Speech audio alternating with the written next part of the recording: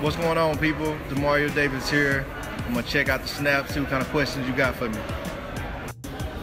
I say a quick prayer.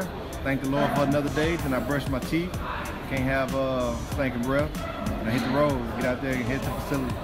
I love movies, uh, but it's definitely a tie between Lion King and 300. Definitely Barrios downtown. Uh, shout out to Barrios if y'all want me to uh, give me a sponsorship and give me free tacos.